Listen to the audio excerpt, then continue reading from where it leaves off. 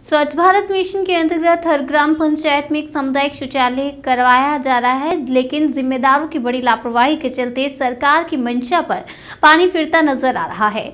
जहाँ गाँव को खुले में शौच से मुक्ति दिलाने के लिए सरकार के तमाम दावों और प्रयासों पर अब भी सवाल उठने लगे हैं। सामुदायिक शौचालय में महीनों से ताला लटक रहा है, जिससे ग्रामीण खुले में शौच जाने के लिए विवश हैं। लाखों की लागत से बना सामुदायिक शौचालय में हमेशा ताला लटका रहता है। पूरा मामला हमीरपुर जनपद के राठ विकासखंड क्षेत्र के ग्राम पंचायत बकरई का है। गाँव के ही ग्रामीणों का आरोप है कि सामुदायिक शौचालय का निर्माण मानक के अनुसार नहीं कराया गया है, जिससे बाउंड्री फटने लगी है। इतना ही नहीं, सामुदायिक शौचालय में ना तो पानी की टंकी की व्यवस्था है और ना ही बिजली की। कभी कभार जब खुलता है तो ग्रामीणों को शौच क्रिया के लिए पानी इधर से उधर लाना पड़ता है।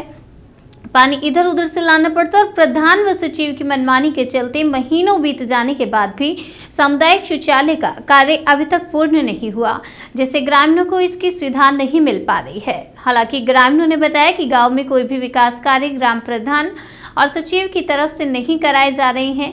ग्रामीणों ने उच्च अधिकारियों से ऐसे जिम्मेदारों पर कड़ी कार्रवाई की मांग की है। क्या नाम है आपका? अच्छा किस गाँव से हैं आप?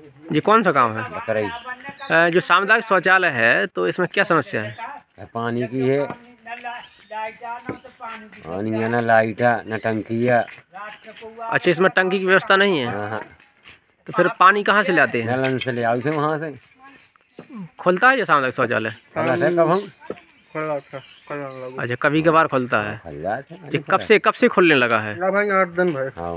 अच्छा इससे पहले बंद रहा। दादा क्या नाम है? काशी प्रसाद। अच्छा किस गाँव से हैं आप? कोठा के कोठा से। तो जो ग्राम बखराई में जो सामुदायिक शौचालय बना हुआ है तो इसमें क्या समस्या है? समस्या तो खुद देखा सब कछु नहीं है लाइट न कछु न न पानी जी दीवार है तो इसमें टंकी की व्यवस्था नहीं है क्या? कुछ नहीं। तो फिर कै- कैसे कैसे ये पानी की अब नहा वहाँ से भरे का तो थोड़ी है मिले पानी हम्म, कहूँ के नल पे जाए कहूँ के नल पे जाए। क्या खुलता है ये कभी? कब खुल खुल जाए कब नहीं खुले। ये क्या नाम है? बबलू।